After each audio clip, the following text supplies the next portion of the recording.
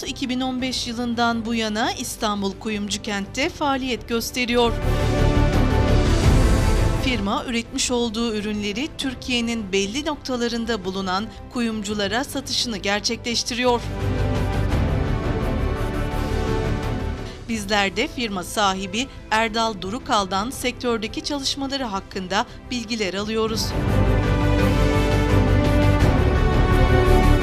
Novo Gold'u 2015 yılında kurduk. Ee, ondan öncesi e, İstanbul doğumluyum. Balıkesir Üniversitesi işletme e, mezunuyum. Üniversite bittikten sonra sektöre kapalı çarşıda sayılı e, şu an e, gündemde olan firmalarda başladık işe. E, ondan sonra orada yetiştirdikten sonra 2015 yılında kendi şirketimizi kurduk.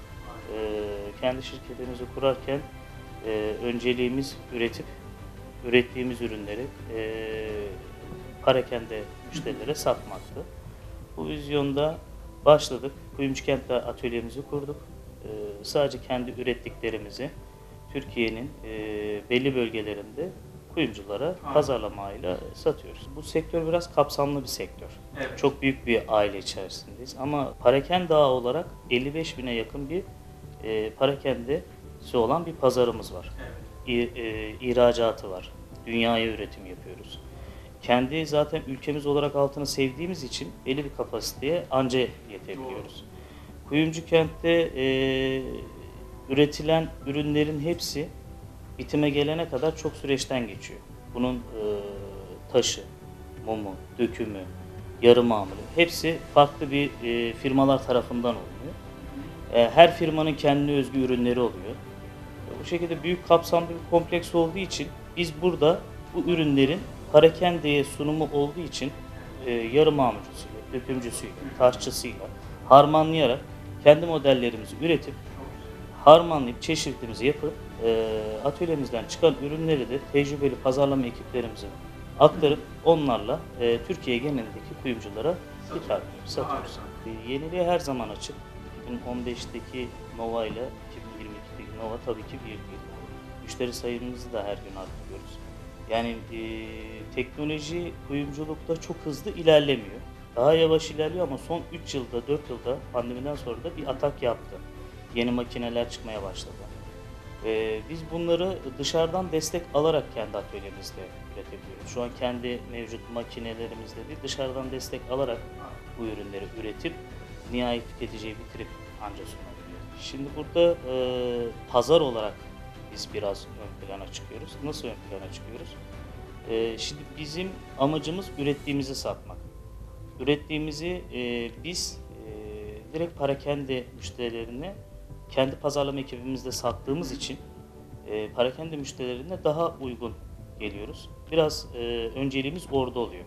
Normalde e, bazı firmalar, e, toptancılar, başka çantacılar, başka eller değiştirdikçe e, fiyat daha artabiliyor. E, biz sadece kendi ürettiğimizi direkt e, parakende müşterisine ilettiğimiz için biraz daha tercih edilebilir firma oluyoruz. Yani bizim hedeflerimiz her zaman ilerisi, her zaman e, yüksekte olmak. Nova Gold hedefleri 2023 ve sonrası olarak hep e, ileriye yönelik bir hedefleri var. Yani müşterilerimize şu anki amacımız 2023'ten sonra da müşterilerimize e, hakim olup onların isteklerini yerine getirip e, adım adım e, müşterilerimizi arttırarak bu sektörde kalıcı bir e, yerde olmak, bir marka olmak istiyoruz. Şu anki düşüncemizde ihracat e, yok.